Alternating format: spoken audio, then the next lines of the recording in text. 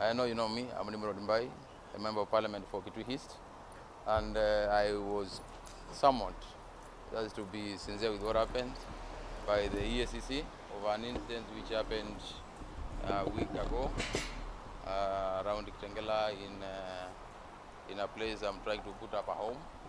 And uh, yeah, the EACC were concerned because you know we are public officers and uh, they are the people who oversight issues to deal with ethics. So they felt that uh, there is some things they wanted to confirm about my conduct and the rest. So that's why I'm here. What did I do? No, I never assaulted anyone. Yeah. Do I look like, like assaulting anybody? I'm a pastor. Yeah, I'm a renowned pastor actually. Uh, which video are we talking of? How much conversant are you with the ICT and uh, videos and editing and copy pasting and uh, all these, uh, the way you can play around with a video clip? Yeah, yeah. Was that you? What do you think? No, Mheshimiwa, According to the video, that's what you want to know. Was that you? Mheshimiwa, Mheshimiwa, I don't know which video you are talking of. The video is online. It's, it's, it's everywhere. Mheshimiwa, Which one? There are so many videos of me everywhere.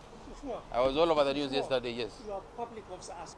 There was an incident and they are the custodians, the oversight on ethics of public officers. So the, the reason they invited me was to question about my ethics around uh, what happened on that day. And uh, I gave my statement. I've just given my statement and uh, I'm waiting to see what happens. I'm not saying I'm not aware of anything, but you are not being specific on what you are trying to ask. If you give specific, I'll give you the specific answer. You know, when you talk of a clip, I have over thousands of clips of me on social media that I presented myself to a police station in Kitengela. Yes, I did, because there was uh, a complaint against me on uh, an assault issue with some guy working with Kenya Power, which uh, uh, is a, another Kenyan and, and uh, a a constitution respecting Kenyan. I had to, to present myself. So when I got there, I was arrested like just like another Kenyan. I was taken to to Kajiado, the ODPP's office, and uh, yeah, I was told to wait for my file to be processed so that I can go to court. Uh, yeah, I'm out on cash bail, so that's it. Then EACC took over their beat on ethics. That's why I'm here. I'm waiting for another person who will take over from their beat and I take it on. That's the Nimrod for you. You know, we are, we are Kenyan, we are here.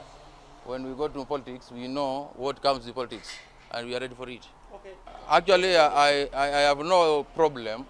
To those people who elected me, I'm a hero. They know it. They know I'm a no-nonsense person. You know, they know it. And uh, I'm telling you, I tripled my votes. The votes I was given in 2017, I tripled in 2022. That shows you the kind of confidence my people have in me. Just follow my uh, Facebook page and the clips you are talking of and see how people, my people are commenting. It's, it's the right thing to do, as in, you have to fight for your rights. Yeah, you can't get to a point of uh, harassing people or beating people, but a man has us to do what he has to do as a man to, for things to move. So that's the thing. And my people know me as that.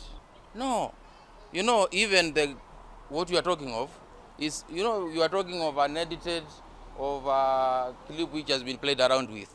So how can I be remorseful of a clip which has been played around with? This clip is not the original clip.